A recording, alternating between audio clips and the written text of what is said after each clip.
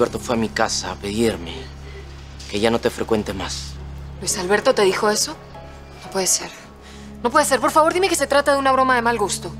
Me encantaría hacerlo, pero es así. ¿Cómo se le ocurre hacer eso? ¿Con qué derecho te dice que no puedes ir a mi casa cuando eres el papá de mi hijo? Bueno, insinuó que yo tenía otras intenciones. No puedo creerlo. Es que no puedo creerlo. Alma, no me gustaría dejar de ver a mi bebé por no incomodar a Luis Alberto.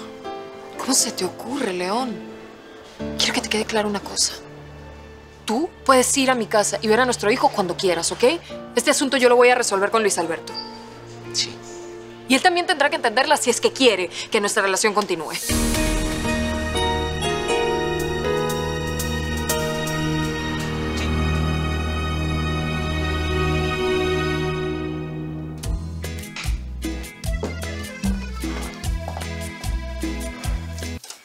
Disculpa la demora.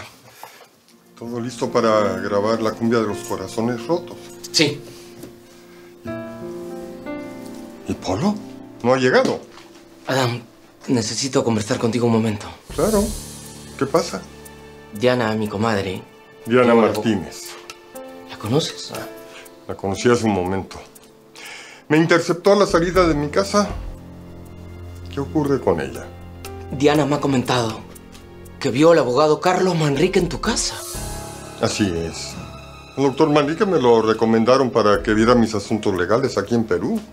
Entiendo que es de los mejores abogados aquí en el país. No, no, no, Adán, has debido averiguar más sobre ese sujeto antes de contratarlo. Carlos Manrique es un asesino. Acabó con la vida de Mabel Gil Urbina. Asesino. Manrique debería estar en la cárcel. No sé qué hace libre. Pero Dan, ten mucho cuidado, que ese sujeto no vuelva a pisar tu casa. Tranquilo. Gracias por avisarme. Vaya, qué descuido el mío. Oye, ¿cómo supo Diana que Carlos estaba en mi casa? No lo sé, Adán. Necesito que me ayudes a conseguir un nuevo abogado. Alma Hermosa. Es una excelente profesional. Tú la conociste en México. Le diré que se reúna contigo para que conversen. Te lo agradecería mucho. Bueno, como te habrás dado cuenta, mi referencia sobre buenos abogados aquí en Perú deja mucho que desear.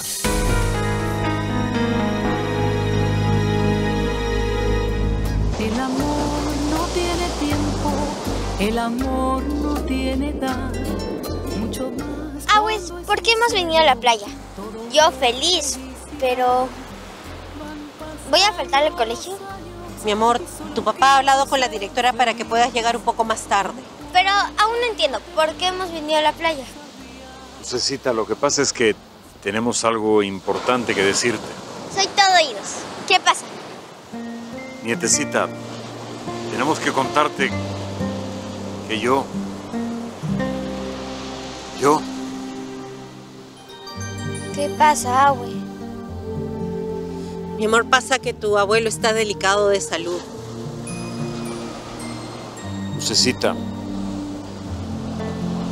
tengo algo mal en el cuerpo. Y la doctora Luciana me ha dicho que debo seguir el tratamiento de inmediato si quiero curarme. Por eso es que tenemos que viajar al extranjero. ¿Me voy a quedar sin mi Agüe?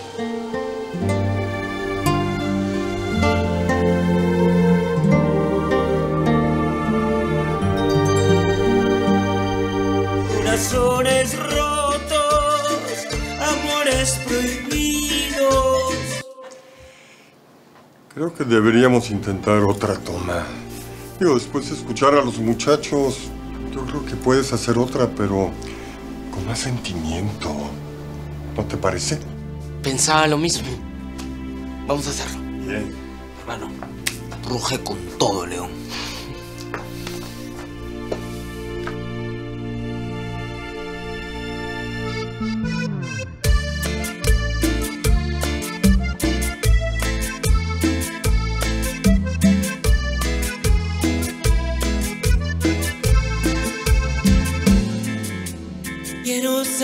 Si existe alguien en este mundo que no sepa lo que sufrir por amor. Creo que es imposible porque parece mentira. Es difícil taparle los ojos al corazón. Corazones rotos